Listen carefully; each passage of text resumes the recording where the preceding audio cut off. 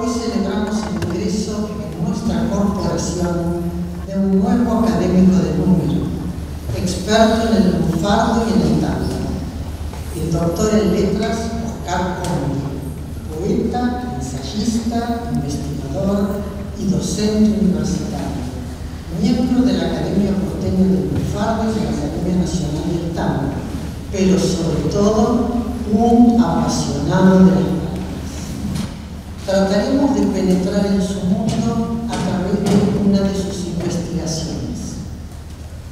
Según Oscar Conte, la palabra lunfardo deriva del romanesco lombardo y denota ladrón.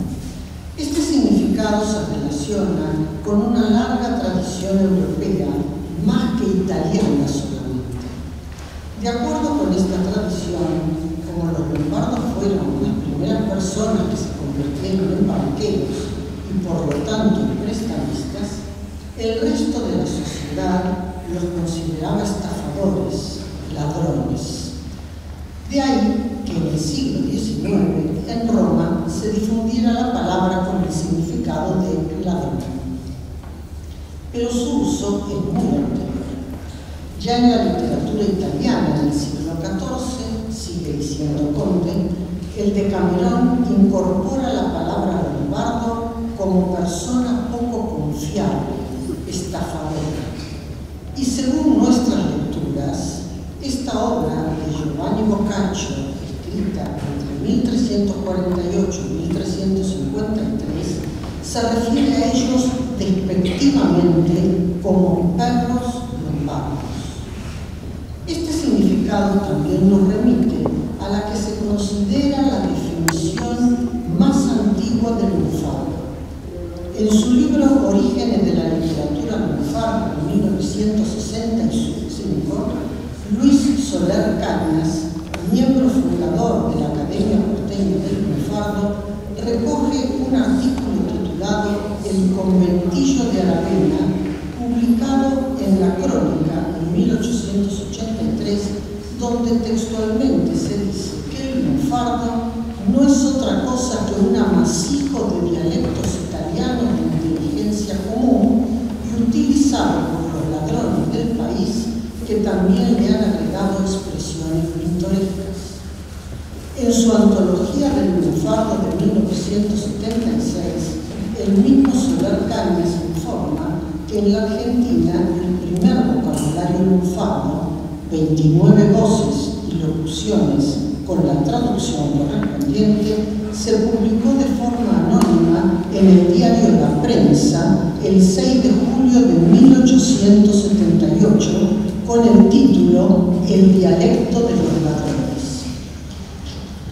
Ya en el ámbito actual de la investigación sobre el lunfardo, la palabra técnica que lo define, aclara Oscar Conde, desde el punto de vista lingüístico es argot, un habla popular creada al margen del vocabulario oficial.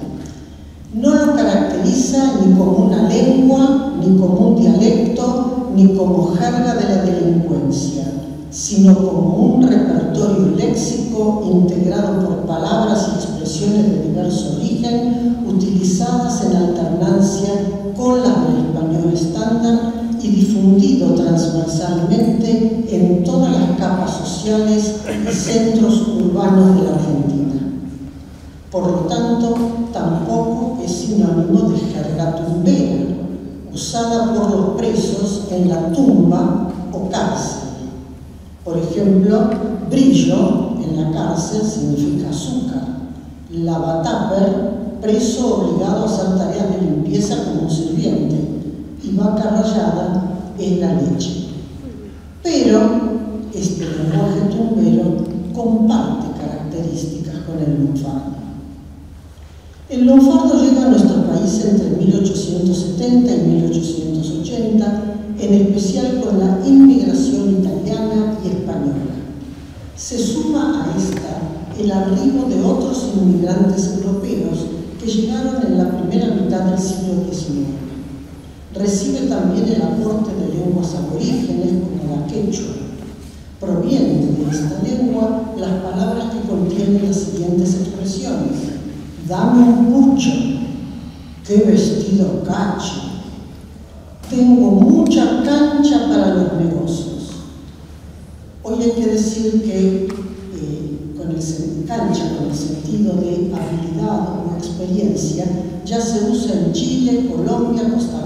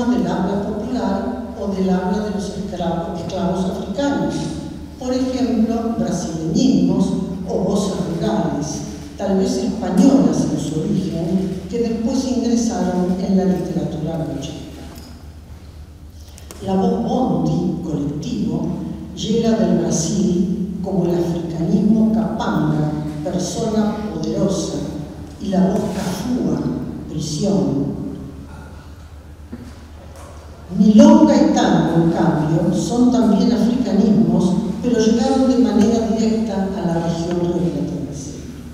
Estima Conde que existen entre 6.000 y 7.000 lunfardismos y unas 3.000 locuciones o expresiones, entre ellas hacer facha por exhibirse, llenarle a alguien la cara de dedos por golpearlo duramente, manchar el tiempo por comprender, poner el gancho por firmar y remarla en dulce de leche por llevar a cabo algo con mucho esfuerzo.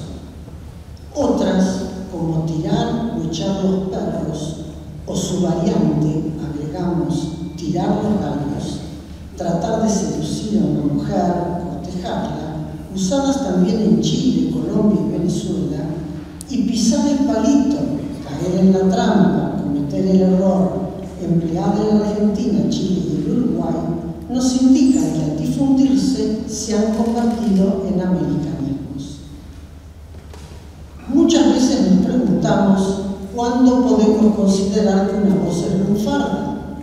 En 1953, José Bovelo, en su libro Lunfardía, explicó que para que un término se vuelva lunfardo, tiene que estar presente una idea de rebelión, de jugar con el lenguaje, es decir, destaca su valor lúdico. También nos preguntamos si los lunfardismos son argentinismos y si se han difundido por todo el país. El doctor Conde, quien insiste en que ni es una jerga de delincuentes o marginales, pues no siempre se ha relacionado con el delito, ni un lenguaje carcelario o secreto, confirma que son argentinismos, pero que no todos los argentinismos son lunfardismos. Surgen en la expresión oral y escrita. En un triángulo imaginario, explica, que estaría dado por las ciudades de Buenos Aires, Rosario y Montevideo, a las que podrían sumarse La Plata, Santa Fe y algunas otras. A pesar de que el lunfardo se origina en Buenos Aires y luego se extiende por todo el país, en todas las provincias se crean palabras que no son lunfardismos, ya que responden a sus identidad local, pero sí son argentinismos. Por ejemplo, en Córdoba, a los rubios les dicen payos. En Salta y en todo el noroeste argentino, Caschi es el perro callejero,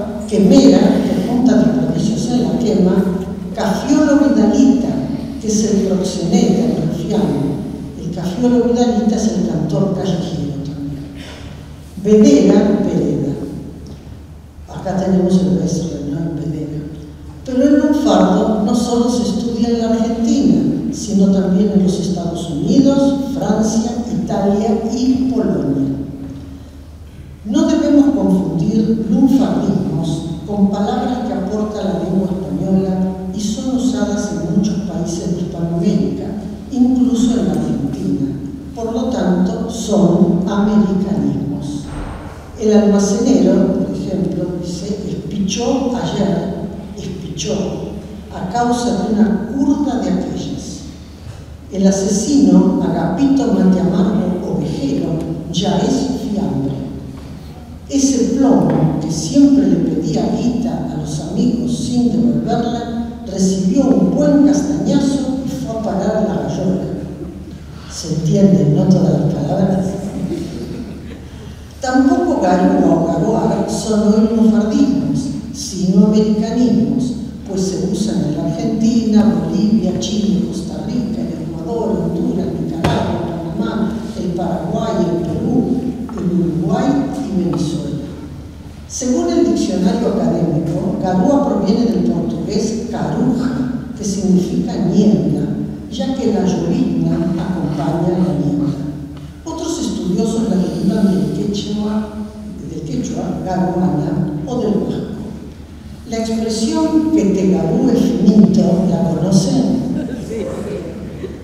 Y su variante que te llueva finito, con ese adjetivo diminutivo transformado en adverbio, tiene más de una denotación.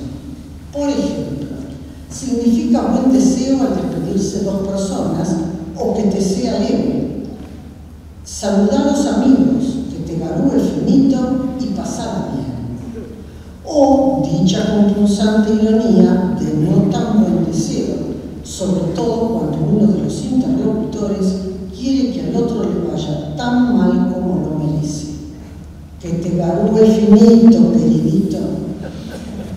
En este caso es un eufemismo para no expresar violentamente, sino de manera atenuada, aunque el diminutivo es lapidario, el gran enojo que carcome a una mujer, es decir, su hasta nunca. A veces adopta una posición semántica mediana, esta misma expresión, en la, en la que bondad y maldad se disputan en primer lugar. Y oímos lo siguiente, que publiques tu dichoso libro y que te gradúe finito. Desde nuestro punto de vista, el adjetivo dichoso no significa aquí feliz, revela cierta molestia. Por eso, esta oración desiderativa remata con la frase que analizamos que puede denotar y no nos fastidies más, por favor. La suma de ese adjetivo adverbializado la convierte en un argentinismo y también en un uruguayismo, pues se usan los dos países del área que pertenece. Por supuesto, en todos los casos, la entonación cumple un valiosísimo papel.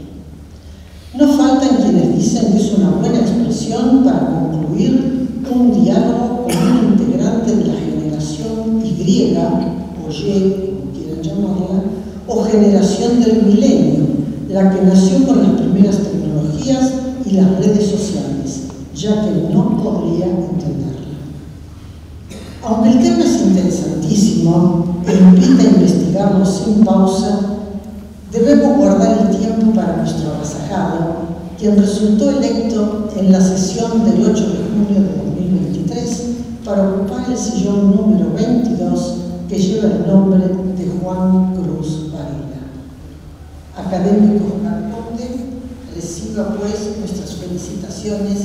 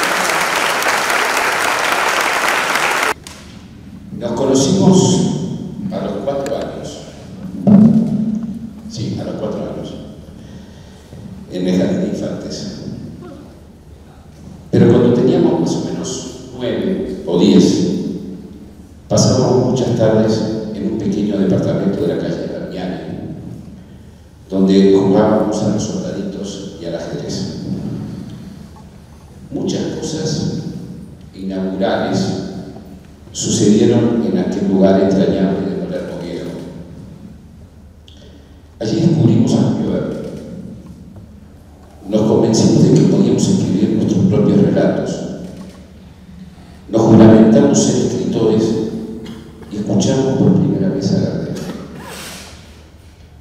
El padre de Oscar Conde era un argentino bondadoso que amaba el tango y que durante una de aquellas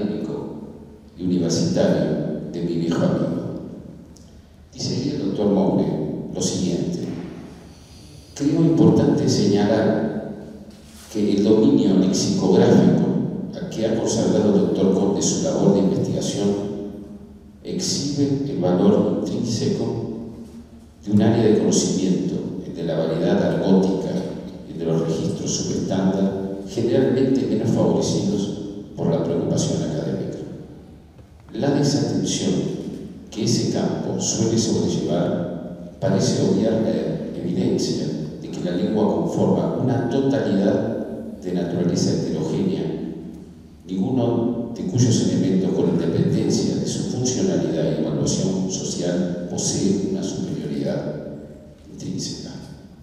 El área específica estudiada por el doctor Conde resulta, por otra parte, una aportación de particular importancia para la elaboración de los repertorios lexicográficos del español, especialmente para la de nuestro Diccionario de la Lengua de la Argentina, así como para el conjunto de las tareas desarrolladas por el Departamento de Investigaciones Lingüísticas y Filológicas de nuestra academia. Fin de la cita. ¿Cómo se convirtió Oscar en este, este especialista crucial que señala Moure? La pena repasar su itinerario básico y decir que ante todo tomó el camino más largo y más difícil, que es el clásico y el científico. Oscar Conde es licenciado y doctor en letras, fue profesor de griego clásico de la Universidad de Buenos Aires entre 1983 y 2006, profesor de latín y griego en la Universidad de El Salvador entre 1993 y 2011, y tuvo a su cargo distintas materias en el profesorado en letras del Instituto de Enseñanza Superior número 1 Alicia Moró de Justo entre 1987 y 2022, donde fue también vicerrector. Actualmente enseña literaturas y culturas populares en la Universidad Pedagógica Nacional y Lunfardo en la Universidad Nacional de las Artes. También es profesor del doctorado en Filosofía de la Universidad Nacional de Lanús. Ha compilado los siguientes libros. Poéticas del tango, Poéticas del rock, volumen 1 y 2, Las poéticas del tango canción, Argots hispánicos, y junto a su colega Laura Silento, Textualidades alternativas, casos de literatura marginalizadas en la Argentina. En el orden filológico, Conde rescató del olvido y publicó ediciones de la muerte de Pío Luis Villamayor, tangos de Enrique González Tuñón y este mismo año versos antifusos y otros poemas de Felipe Fernández Yacaré, en este caso en colaboración con Claudio Martínez. También es autor del ya canónico Diccionario Etimológico de Lunfardo y de Lunfardo, un estudio sobre el habla popular de los argentinos, primer premio municipal de ensayo de Carlos Rojas de la ciudad de Buenos Aires, ambos editados por Silvio Taurus de Random House También escribió un pequeño libro notable, Charlie García, en 1983. Como poeta desgarrado y profundamente argentino, publicó los libros Cáncer de Conciencia, Gramática Personal y La Risa Postergada. Y es autor del texto para el poema sinfónico Malvinas del maestro Pedro Chévez, estrenado en abril de 2023 por la Orquesta Sinfónica Nacional. Sus áreas de investigación en permanente cruce son dos. Por un lado, el lunfardo, el español de la Argentina y la lexicografía de nuestra lengua, y por el otro, la literatura argentina, área en la, la cual se concentran los géneros marginalizados, la literatura, literatura lunfarda y la cancionística popular, tango, rock y rap. Es académico titular de la Academia Porteña de Lunfardo desde 2002 y de la Academia Nacional del Tango desde 2015. Conde se inscribe en una fecunda tradición de escritores, críticos y ensayistas que desde la alta cultura, desde los cenáculos más encumbrados de la universidad, han sabido registrar la nobleza de la cultura popular. Recuerdo ahora los trabajos pioneros de Aníbal Ford, Eduardo Rivera, Jorge Laforgue, Eduardo Romano y Juan Santurán, y sus estudios fundamentales acerca de los mal llamados géneros menores, el folletín, el policial, la ciencia ficción, la historieta, el periodismo. Oscar introduce a los letristas y les da el tratamiento de grandes poetas. Es por eso que con Conde ingresan hoy en la Academia Argentina de Letras muchos fantasmas ilustres que pertenecían por talento, y por derecho propio a esta casa. Entran con Conde, Mansi, Homero Espósito, Cátulo Castillo, Pascual Contursi, Celedonio Flores, pero también Espineta, García, Páez, Calamaro y Cerati. Y agrego a la lista, por supuesto, aquel mismo Enrique Santos Discépolo que nos revelaba su padre en nuestro pequeño mundo de la calle Damiani, donde soñábamos con la literatura, pero lo confieso, nunca pudimos soñar, Oscar, esta tarde inolvidable. Muchas gracias.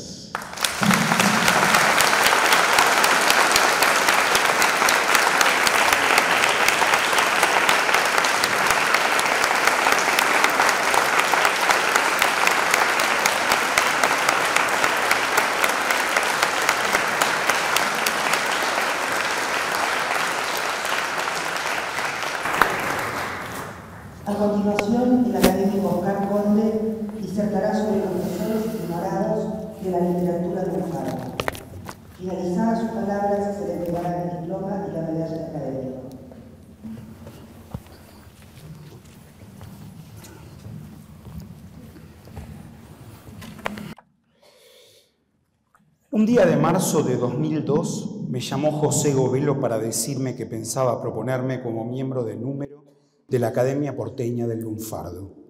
Sorprendido, atiné a empezar a agradecerle, pero me interrumpió. Antes de que me conteste, necesito preguntarle, ¿usted tiene alguna aspiración de integrar la Academia Argentina de Letras? Le respondí con sinceridad que nunca se me había pasado por la cabeza porque sencillamente me parecía imposible. La conversación concluyó así.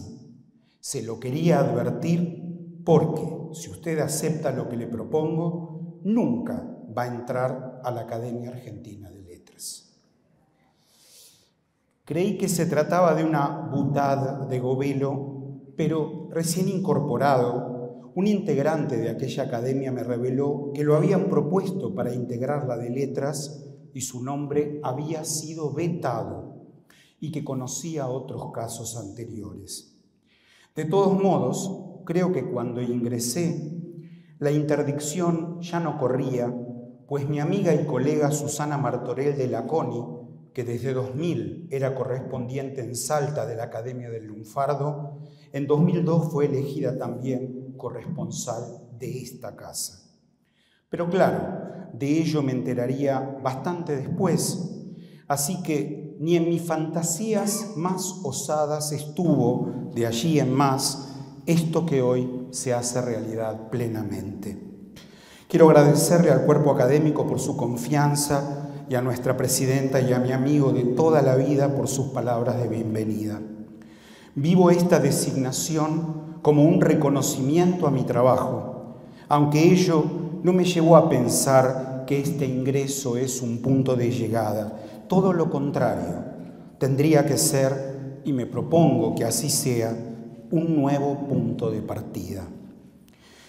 Yo puedo autopercibirme poeta, lexicógrafo, lunfardólogo, ensayista y en los últimos años también filólogo.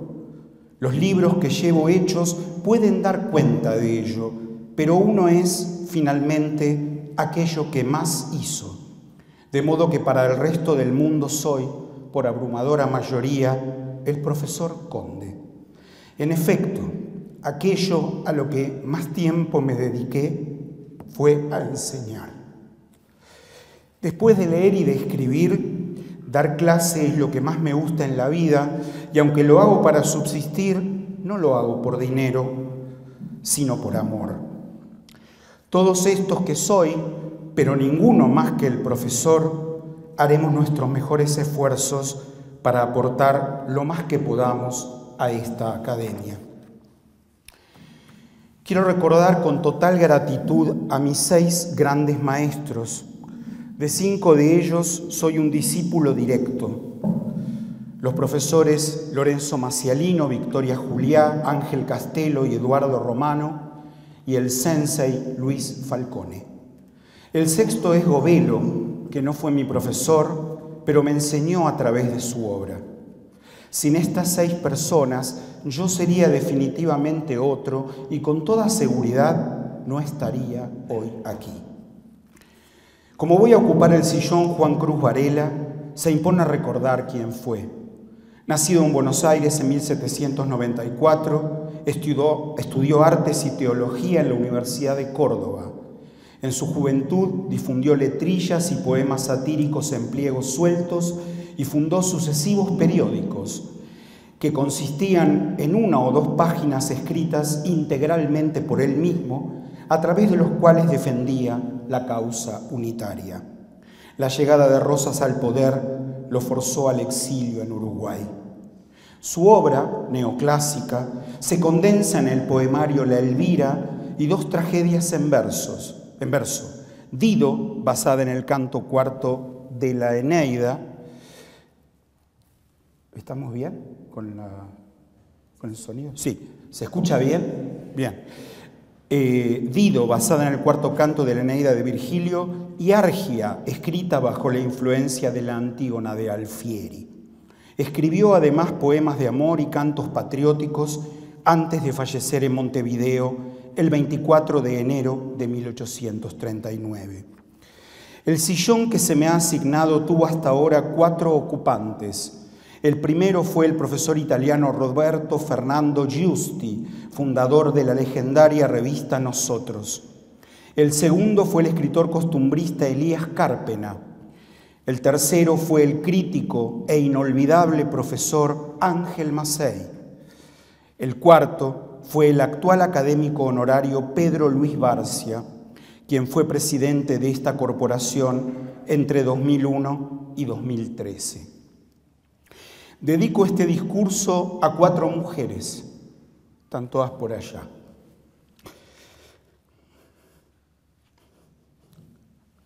A Laura y Victoria, mis hijas, que son mi máximo logro y mi máximo orgullo.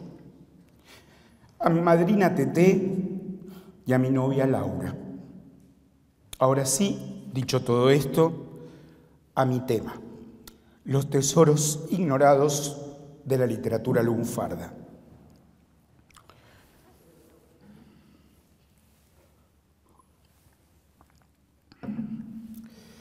Hace dos meses subí a un taxi y escuché a un periodista preguntarle a un cantante rosarino, ¿vos sos leproso o canalla? Canalla, respondió.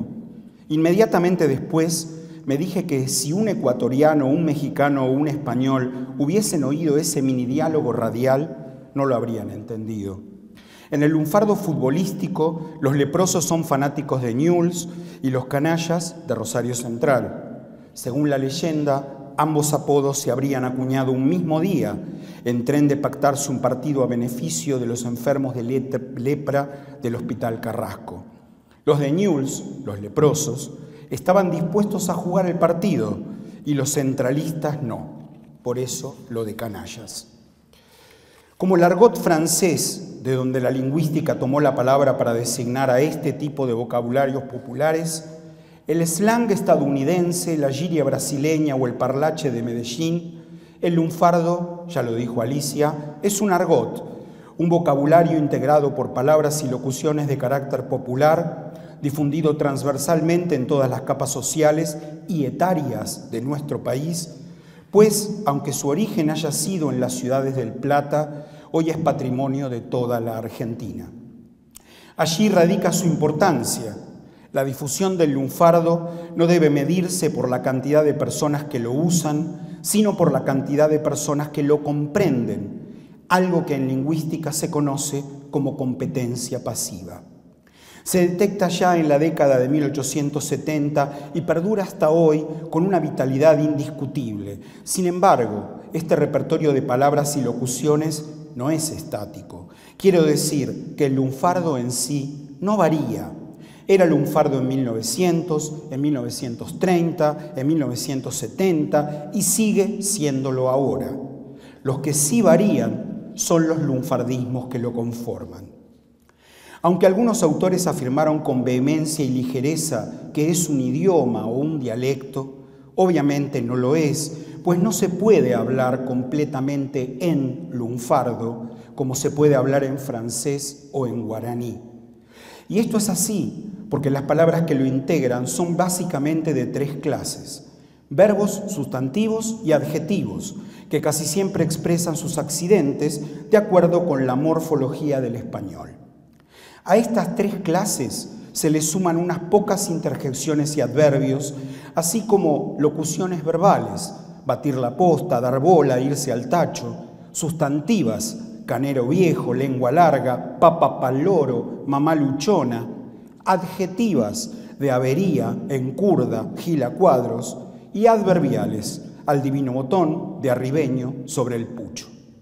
Pero no existen en el lunfardo artículos, pronombres, preposiciones ni conjunciones, de modo que, aunque se haya extendido la expresión hablar en lunfardo, lo más que uno podría hacer es hablar con lunfardo.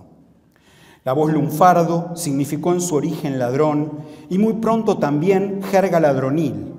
Esto condujo a conclusiones erróneas a los primeros interesados en el fenómeno, quienes, por ser policías, guardiacárceles o criminalistas, pensaron que se trataba de un tecnolecto delictivo o de un habla carcelaria. Yendo en esta dirección, cayeron en un segundo error, decretar la naturaleza críptica del lunfardo, algo que hace medio siglo Mario Teruggi desmintió por completo cuando escribió. El mentado carácter secreto del lunfardo o cualquier otro argot no resiste el menor análisis, como lo han demostrado muchos investigadores serios. Una breve reflexión basta para comprender que, si los delincuentes tuvieran un lenguaje secreto, solo conocido por ellos, al usarlo ante desconocidos o posibles víctimas, se pondrían en evidencia, es decir, que su idioma cumpliría precisamente la función contraria a la buscada, que es la de despistar. Cualquier individuo que se comunicara con vocablos en parte incomprensibles no haría otra cosa que llamar la atención hacia sí mismo y despertar sospechas sobre sus intenciones. Es una cuestión de sentido común y también de falta de atención, porque tanto en los cuentos de Fray Mocho, en los cuadros costumbristas de Félix Lima, en las acuarelitas del arrabal que Juan Francisco Palermo publicaba en Crítica, como en las veredas, los almuerzos familiares y los mercados de barrio, el lunfardo estaba en boca de todos. Y no fue un tecnolecto de ladrones, porque desde que nació contiene voces y expresiones completamente ajenas al delito. Chamullar, Mufa, Atorrante o Escabio no tenían ninguna conexión con el mundo criminal, como no la tienen hoy Filtrado, Puentear, Bardero o a la gilada ni cabida. Naturalmente, los detenidos usaban y usan lunfardo porque forma parte del habla de todos los días de la mayor parte de nosotros, pero no por ser ladrones o por estar presos. Pero además se sirven de la jerga carcelaria que es casi desconocida por quienes jamás estuvieron en la cárcel. Alicia les adelantó algunas expresiones de esta jerga. Es evidente que dentro del lunfardo hay algunos términos relacionados con el delito o lo que se llamaba antes mala vida, pero no cubre ni el 5% de este vocabulario que engloba distintos y variados campos semánticos.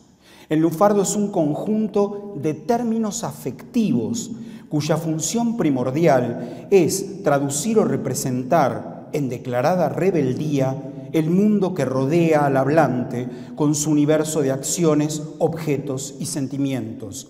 Y aunque me parece que es bastante más que esto, no sería del todo disparatado concebirlo como un léxico de las necesidades vitales, comida, bebida, sexo, los tipos humanos, con las consiguientes relaciones interpersonales primarias, el dinero, el comercio, el engaño, los defectos, como la torpeza, la jactancia o la candidez, y los vicios, el juego, la droga, el turf, el alcohol, la prostitución. Todas estas confusiones con el lunfardo, que lo suponen un vocabulario de marginales, delincuentes o presos, tienen su explicación. Entiendo que se sucedieron tres cosas que, permítaseme el lunfardismo, ya que de eso estamos hablando, empiojaron el asunto. Por un lado, la asociación que históricamente realizan las clases pudientes entre pobreza y malvivir. Por otro, la irreflexiva seguridad con la que los penalistas y policías describieron eso que supusieron una jerga criminal. Por último, el hecho de que diversos escritores e intelectuales les creyeran a los policías. Desde que tuvo lugar la eclosión inmigratoria que le dio origen, los habitantes del arrabal, que como decía Borges, estaba en todas partes, incluso a metros de la Plaza de Mayo, igual que hoy, usaban o comprendían las expresiones lunfardas y en pocos años fue absorbido por las clases medias, por los muchachos de las clases acomodadas que iban a divertirse a los peringundines del sur de la ciudad y hasta por las chicas del Sacré-Cœur. La expansión de este vocabulario en los medios de comunicación y en las producciones artísticas de carácter popular revela el conocimiento que el público tenía de este argot. Si no me creen, pueden buscar la columna cinematográfica que escribió Horacio Quiroga en Caras y Caretas el 15 de mayo de 1920 y que firmaba como el esposo de Dorothy Phillips, una actriz norteamericana de la que estaba enamorado. Allí el autor se queja de los inverosímiles diálogos en lunfardo intercalados entre las escenas de las películas silentes extranjeras y menciona casos como este, que si me he divertido, macanudamente, como decimos los criollos, dicho por un príncipe chino en rostros lívidos de Seishu Hayakawa. O bien, espiantá, espiantá, o guarda que va a pelar el bufoso. Es absurdo, claro, pero tal decisión de las distribuidoras nacionales confirma que el público conocía el léxico lunfardo. Como todo argot, surgió en el ámbito de la oralidad y se fue forjando en distintos espacios de circulación social. El conventillo, el trabajo, los lugares de diversión. En las charlas de criollos humildes con personas recién desembarcadas se expresaban en sus lenguas maternas. El proceso se afianzó con los hijos de unos y otros, en los juegos infantiles en la vereda y en el patio de la escuela, y después en la infaltable barra de la esquina. Estas conversaciones corrientes, espontáneas y simples, no estaban exentas de pequeñas cuotas de humor, burla o ironía, de parte de los criollos hacia los inmigrantes, mayoritariamente italianos, quienes tenían como meta, tanto para ellos como para sus hijos, el aprendizaje de una lengua de prestigio que pudiera favorecer su inserción social, el castellano rioplatense. De ese intercambio surgieron dos fenómenos, un habla de transición, el cocoliche, y un vocabulario popular, el lunfardo, formado en aquellos primeros tiempos por xenismos, deformaciones, distintos juegos idiomáticos y resemantizaciones de palabras españolas. Los jóvenes criollos, con todo ese capital lingüístico aprendido en el colegio y en la calle, con voluntad lúdica, crearon un modo de decir y un modo de hablar, es decir, un léxico cotidiano. Los protolunfardismos se detectan ya en la literatura de principios del siglo XIX. En el detalle de la acción de Maipú de 1818, las bodas de Chivico y Pancha de 1823 y graciosa y divertida conversación que tuvo Chano con el señor Ramón Contreras con respecto a las fiestas mayas de 1823, todo eso es un título, aparecen, por ejemplo, bichar, espiar, fajar, azotar, y zafado, insolente.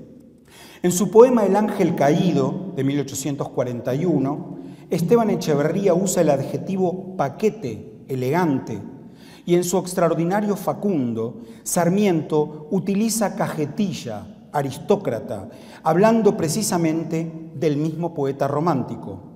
En la página 47 de la primera edición del libro puede leerse con la ortografía propiciada en aquel tiempo por el autor sanjuanino. El joven Echeverría residió algunos meses en la campaña en 1840 y la fama de sus versos sobre la pampa le había precedido ya. Los gauchos lo rodeaban con respeto y afición y cuando un recién venido mostraba señales de desdén hacia el cajetilla, alguno le insinuaba al oído, es poeta y toda prevención hostil cesaba al oír ese título privilegiado.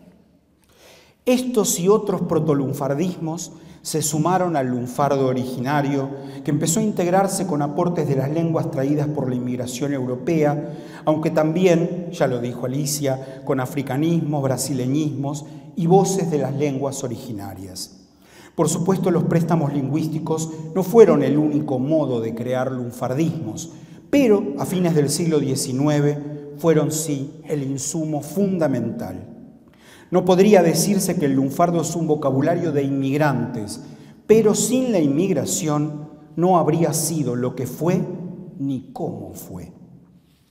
Cuando la llegada de extranjeros disminuyó, esto es, en los últimos 100 años, los lunfardismos en su mayoría se tomaron o formaron a partir de palabras españolas por cambios semánticos o morfológicos.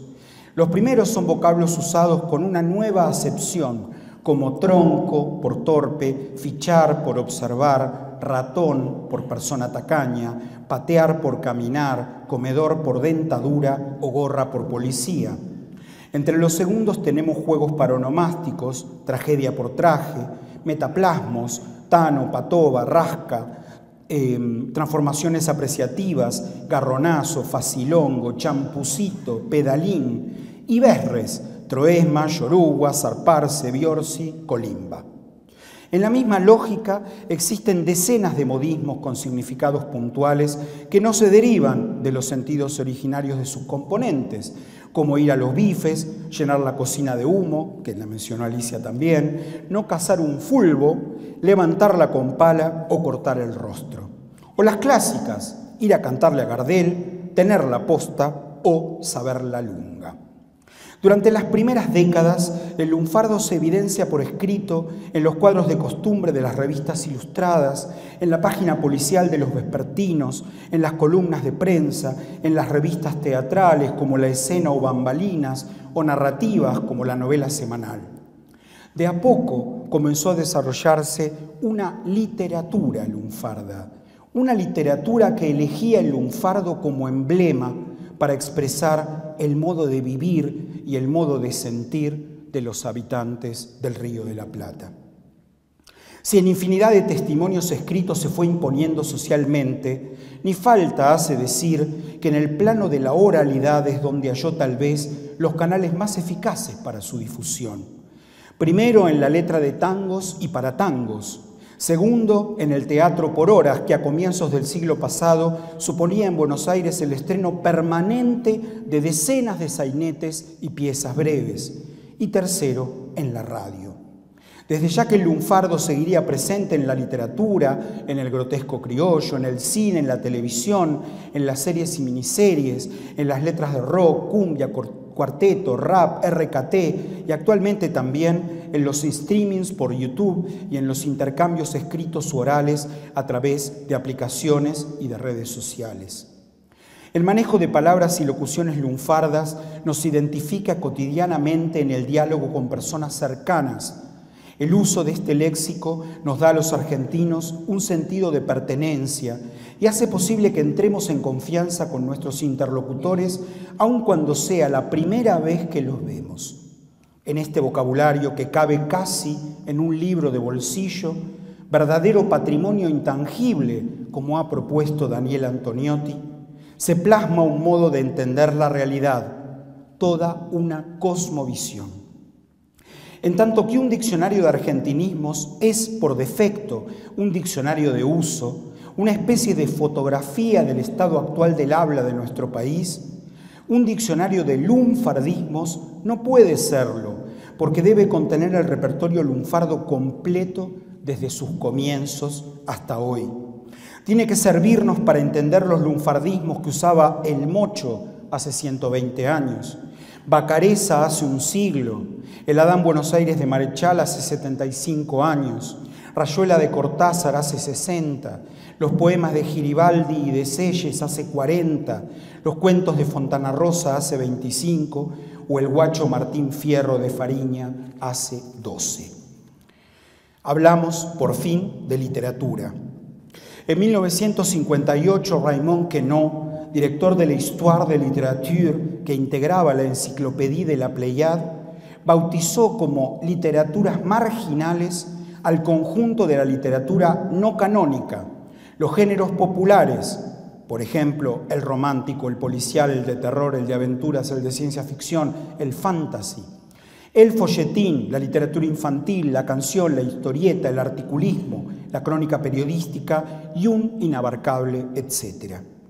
En 1975 el profesor portugués Arnaldo Saraiva supo problematizar el concepto de literatura marginal y ponerlo en relación de oposición y complementación con la noción de literatura marginalizada, cuando generó el título de su libro Literatura marginal y separado, Isada. En efecto, para Saraiva esta literatura no solo comprende una clase de textos menospreciada, sino especialmente modos particulares de producción, distribución, circulación y consumo.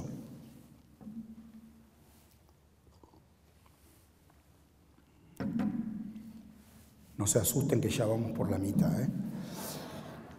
En las personas e instituciones que validan y sostienen la literatura canónica, se verifican tres operaciones de descalificación. La del lector, que resulta infantilizado, la del medio de difusión, diarios, revistas, discos en lugar de libros, y la del género, arrinconado en el mejor de los casos en la función del entretenimiento. Si la literatura marginal se ubica en un lugar provocador, alejado del centro del campo literario, la marginalizada en vez sigue en las orillas y vive a la intemperie. Este segundo concepto da cuenta, por un lado, de la acción de poner en el margen a un autor, una obra o un género, y por otro, del carácter provisorio de esta categoría. Hasta la operación que Lugones llevó a cabo con el payador en 1916, el Martín Fierro y el resto de la poesía gauchesca eran un género marginalizado. Por ejemplo, la literatura escrita en lunfardo todavía lo es. Y voy a decir algo de lo que muy poca gente tiene conciencia. Esta literatura es un bien mucho más importante y duradero que las reservas de litio o de vaca muerta. Cuando algo no se conoce, o fue gambeteado durante décadas por las instituciones que marcan la agenda de lo que debe investigarse y lo que no, es difícil o imposible que los investigadores jóvenes se interesen por trabajar con ese material. Aquí han obrado primero los prejuicios contra el lunfardo y en segundo lugar simplemente la ignorancia.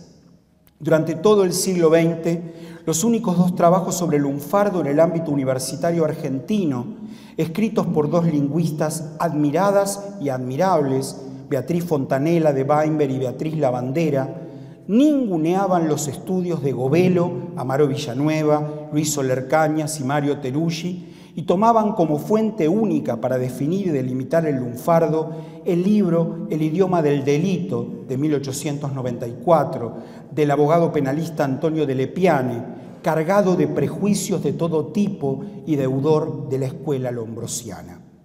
A partir de allí, la literatura escrita en lunfardo o se toma en broma se considera un recurso, o se considera un recurso más o menos excepcional. ¿De qué hablamos cuando decimos literatura lunfarda?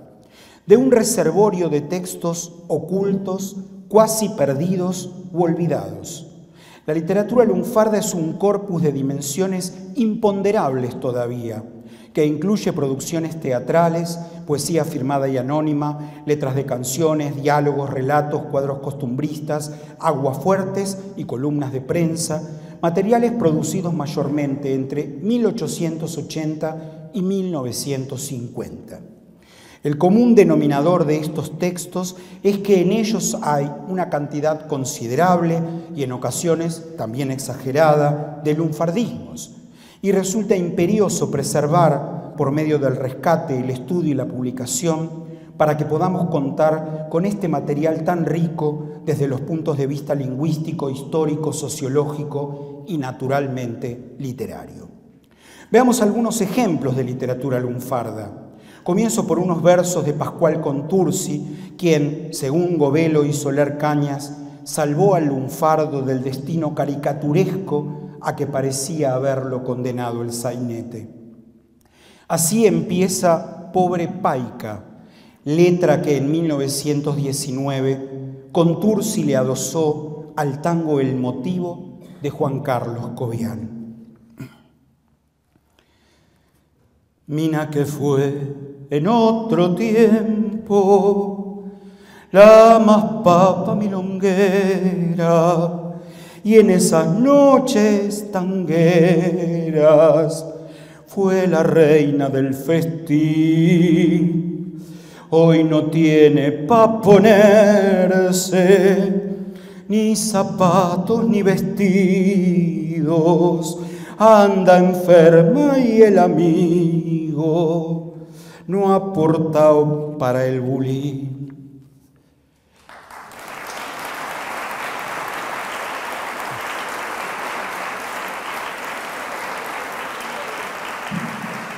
Ustedes porque me quieren, gracias, pero si no aprovecho a cantar acá, ¿dónde voy a cantar? Toda mi vida cantando en la ducha, en la literatura de la época, el lunfardo venía siendo por lo general un recurso humorístico, pero como salta a la vista, estos versos, elaborados desde un punto de vista compasivo, no tienen nada de gracioso.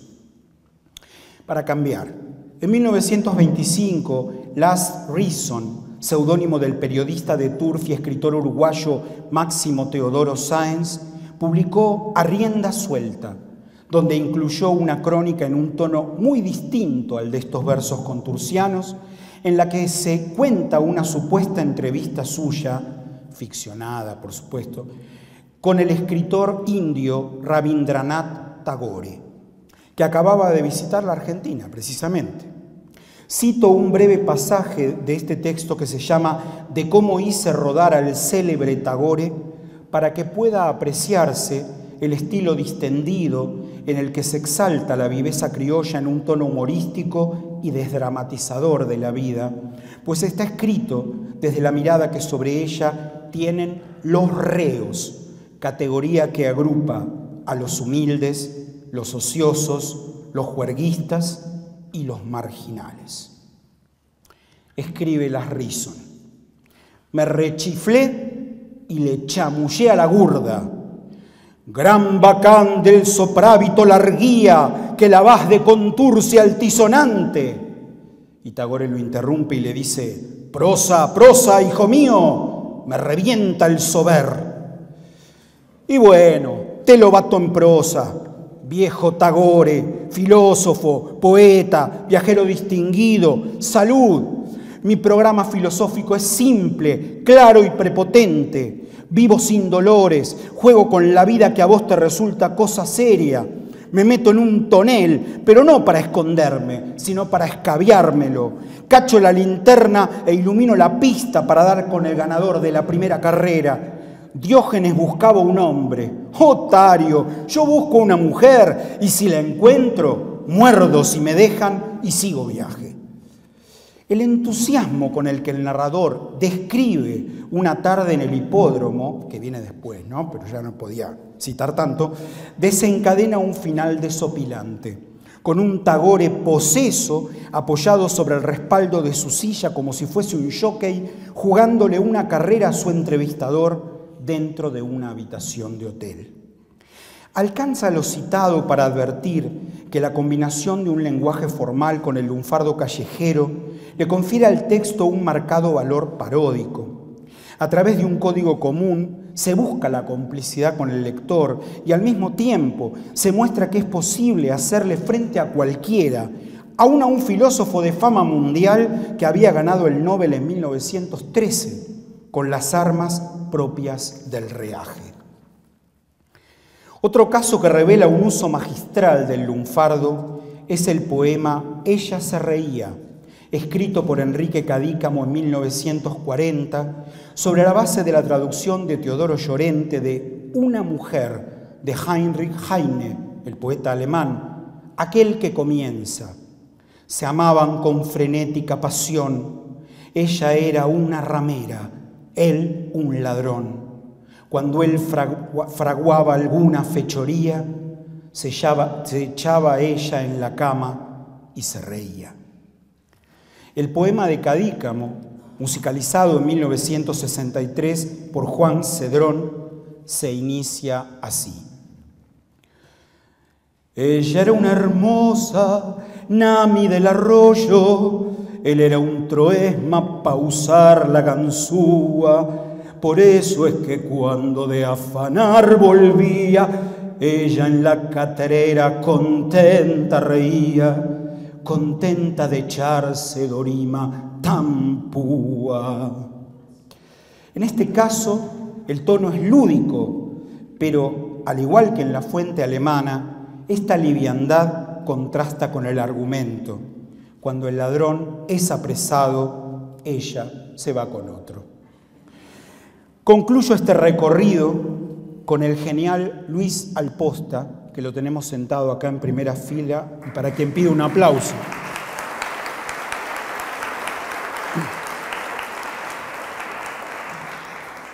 Alposta que en 1967 escribió un brevísimo poema lunfardo que se titula Mufa, solo tiene cuatro versos. Dice, hay días en que hay ganas de abandonar la pose, tomarse el piro macho sin batir ni salute, dejar atrás la calle, embutirse en el subte y en lo que dura un faso, rumbear para la croce. Para quien no lo sepa, la croce es una estación de la línea B, pero no es cualquier estación. Frente a ella se emplaza el cementerio de la Chacarita, el más grande de Buenos Aires. Uno puede tomarse el piro muchas veces, pero el piro macho es irse para siempre. No hace muchos años me di cuenta de que los diccionarios de lunfardo están incompletos. La razón es obvia. Casi no existen ediciones con notas lexicográficas o contextuales de la obra de escritores lunfardos y esto conduce a una sola conclusión.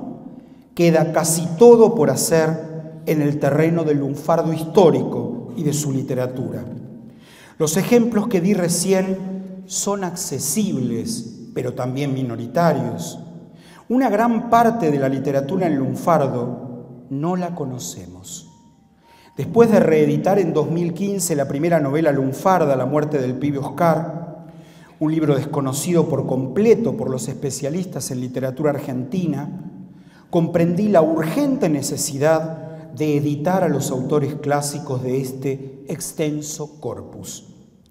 La lectura y el conocimiento de algunos materiales me llevó a valorar el universo simbólico representado allí, con alusiones a lugares y a personajes de aquel Buenos Aires en transformación, que fue además la olla en la que se estaba cocinando el tango y en la que se fraguaban grupos y movimientos literarios fundamentales de nuestra historia. Ahí entra ya no solo la perspectiva lexicográfica, sino la filológica.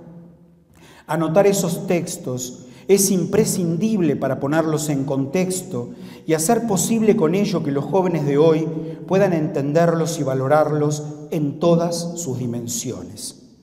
Como le escuché decir alguna vez a mi querido y admirado colega Leandro Pinkler, el propósito de la filología es realizar una interpretación cero del texto. Esto es, desentrañar lo que el autor expresó de acuerdo a sus coordenadas históricas propias de una determinada visión del mundo. El trabajo del filólogo consiste en enmarcar y contextualizar el texto para legitimar las lecturas posibles, puesto que una lectura se vuelve imposible, es decir, equivocada, cuando no es compatible con la cosmovisión en la que se originó ese texto. Las notas lexicográficas o lingüísticas, sociohistóricas, económicas, etnográficas, filosóficas y culturales no son meros aderezos, conforman en conjunto el arsenal que la filología puede aportarnos para una precisa comprensión de una obra o del corpus de un autor. Cualquier estudioso que pretende editar un texto de cierta antigüedad está obligado a dar cuenta en el estudio preliminar y en las notas de cierto modo de ver la realidad, de un estado determinado de la sociedad con relación a temas como la religión, el pensamiento científico y humanístico, la política y la moral, y también a dar cuenta de los usos lingüísticos de ese tiempo. Así armé en mi cabeza dos recorridos, uno acotado como parte de mi proyecto personal de estudio y producción académica, y otro gigantesco, que solo podría completarse con la participación de varios estudiosos dispuestos a ejercer la tarea filológica sobre ese material que en muchos casos jamás fue publicado en formato libro y que por lo tanto debe ser buscado, hallado, fotografiado o escaneado y tipeado antes de poder ser estudiado.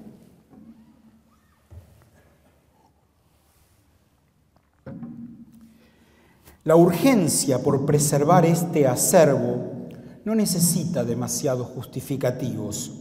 Resulta perentorio poder recoger estos materiales antes de que desaparezcan de la faz de la tierra o de que se los lleven los coleccionistas extranjeros o las instituciones y universidades europeas o norteamericanas.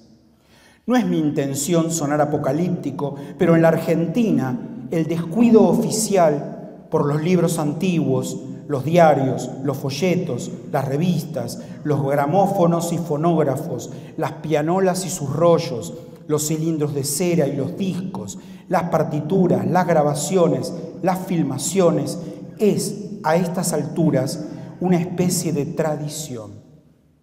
Una tradición que combina la persistente falta de recursos de los repositorios públicos con la ignorancia y la desidia. Todavía hay muchas personas, entre ellas un puñado de investigadores y de coleccionistas, que trabajan a diario, cada uno en lo suyo, para evitar esta sangría.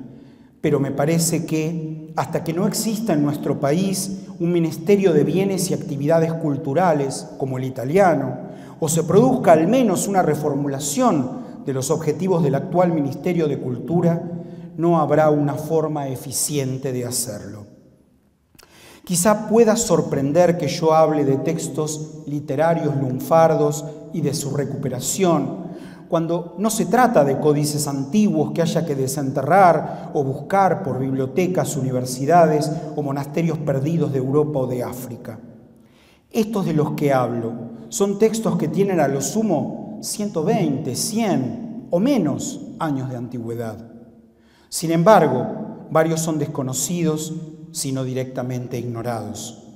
¿Por qué importaría entonces recuperarlos? Al menos por dos razones.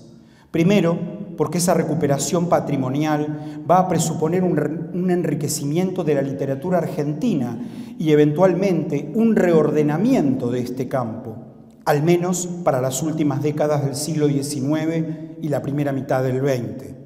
Y segundo, por el rescate de voces y expresiones no recogidas en diccionarios ni de argentinismos ni de lunfardismos y por lo tanto no estudiadas aún. Doy algunos ejemplos de autores cuyas obras sería necesario hallar, clasificar, digitalizar y editar en versiones anotadas. Félix Lima, costumbrista de extensa obra en la prensa de su tiempo, publicó únicamente dos libros, con los nueve en 1909 y Pedrín en 1923, que constituyen menos de la décima parte de su producción.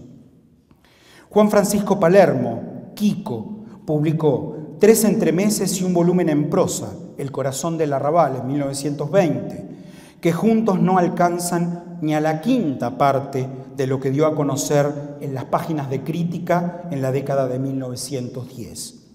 En los primeros años de ese vespertino también escribió casi a diario José Antonio Saldías, bajo el seudónimo de Rubén Fastras. Nada de esa producción juvenil se recuperó en libro. Ya mencioné a Las Rison y a Rienda Suelta.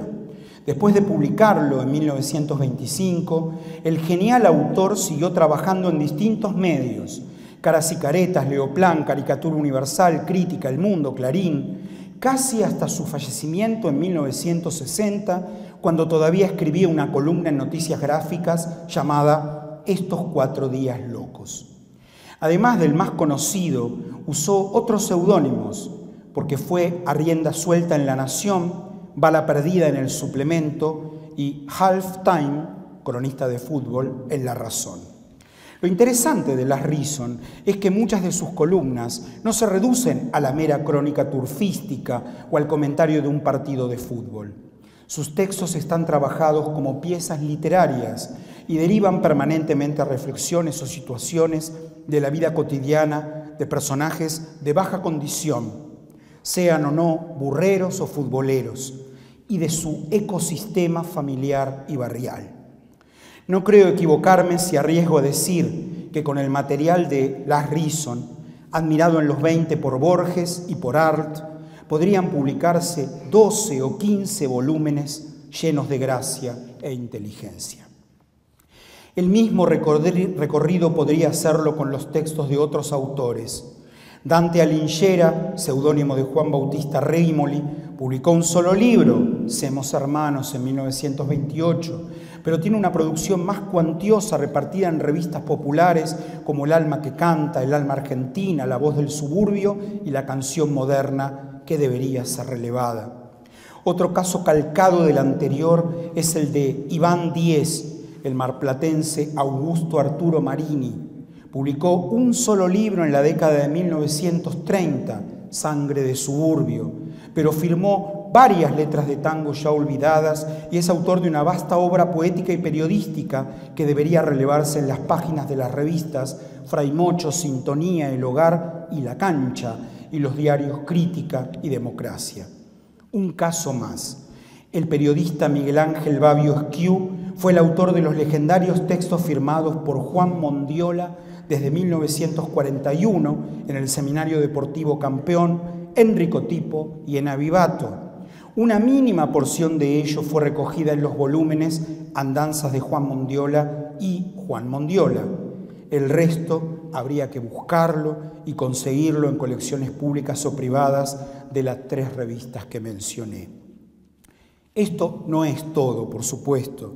Quedan aún sin relevar, digitalizar, anotar y estudiar las producciones de otros autores del primer tercio del siglo pasado, entre los que se cuentan los costumbristas Nemesio Trejo, Agustín Fontanella, Javier de Viana, Edmundo Montañe, Federico Mertens, Josué Quesada, Juan Manuel Pintos y Santiago de Alegri. En idéntica situación está la mayor parte de la obra de los dramaturgos Enrique Butaro, José de Maturana, Roberto Lino Cayol, Enrique García Belloso, Carlos Mauricio Pacheco y José González Castillo. Y también está sin estudiar el corpus contenido en los folletos de la Biblioteca Criolla y otras colecciones de fines del siglo XIX y principios del XX, donde publicaron los poetas y cantores Manuel Cientofante, Pepino el 88, Florencio Iriarte, Gabino Ezeiza, Higinio Casón, Antonio Cagiano y José Bettinotti. Asimismo, es cuestión de indagar en las publicaciones periódicas de la primera mitad del siglo pasado para sumar al corpus de sus libros y folletos poemas todavía recuperables de Silverio Manco, Bartolomé Aprile, Alcides Gandolfi Herrero, José Pagano, Álvaro Yunque y un larguísimo etcétera. Algunos de estos autores llegaron al libro, pero podrían hallarse muchísimos más textos si los buscásemos en diarios y revistas de su tiempo. Allí mismo, nombres mucho menos conocidos o simplemente ocultos detrás de desopilantes seudónimos también dejaron su huella en la literatura lunfarda, huella que se deja entrever en columnas e historietas de tiras revistas cómicas, Don Goyo, Cascabel, Patoruzurri, Cotipo, Leoplana, Vivato, etc., pero también de las páginas de revistas femeninas, Vosotras, Claudia, Radiolandia, Antena, Para ti, TV Guía, etc., y deportivas, Mundo Deportivo, La Cancha, Gráfico, Goles y muchas otras. De más está decir que todo este material hay que encontrarlo y clasificarlo para poder estudiarlo.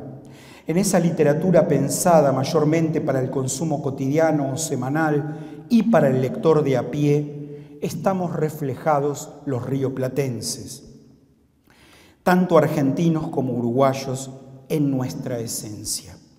En suma, si alguien quisiera relevar la obra completa de cualquiera de estos autores, debería internarse en algún lugar como la Biblioteca Nacional, en la Biblioteca del Congreso o en la de la Universidad Nacional de La Plata durante meses para encontrar ese material, fotografiarlo y catalogarlo antes de digitalizarlo y ponerse a trabajar. El proceso de activación patrimonial de la literatura lunfarda, conjuntamente con la comprensión del imaginario simbólico en el que surgió y se desarrolló, no puede desatender estas cuestiones. Claudicar en la búsqueda, la catalogación, la puesta al día y el estudio de este valiosísimo material sería como suicidarse culturalmente. Está muy bien mirar hacia el futuro, pero nada puede salir bien si no conocemos en profundidad nuestro pasado. Esta premisa que sirve para la vida vale también para la ciencia y para el arte. Última página. Por otro lado, con relación a la literatura lunfarda dispersa en diarios y revistas de la primera mitad del siglo pasado y en todo tipo de material audiovisual, cine, tele, radio, sería importantísimo poder dirigir el interés de los jóvenes investigadores a través de un programa de investigación con distintos proyectos complementarios que contemple el otorgamiento de becas específicas.